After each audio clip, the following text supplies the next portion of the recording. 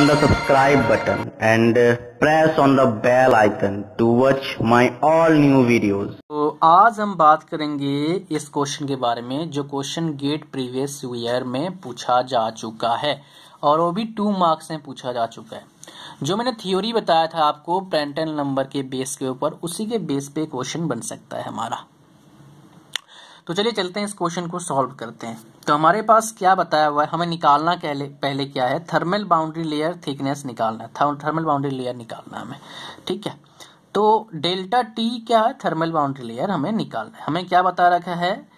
Fluid flowing over a flat plate has a properties mu 25 five into ten to the power minus six K G metre second हमारे पास CP दे रखा है।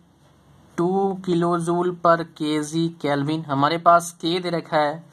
Zero point zero five watt per metre kelvin हमारे पास hydrodynamic boundary layer thickness दे रखा है, delta, is equal to zero point five M M अब यहाँ पर हमें ध्यान से एक चीज़ देखना है।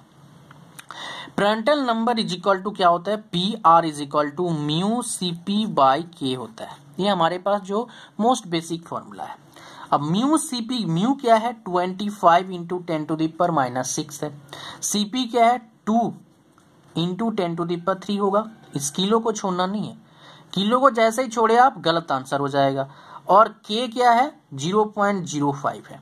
अब देखो, करते हैं इसको solution 25 multiple ten to the power minus six multiple two multiple ten to the power three is equal to this so यहाँ पर पेंटल नंबर कितना आ रहा है? वन आ रहा है। और one is equal to A भी मैंने आप लोगों को बताया था कि delta upon delta T whole to the power Q Prandtl number is equal to इतना होता है। डेल्टा क्या है?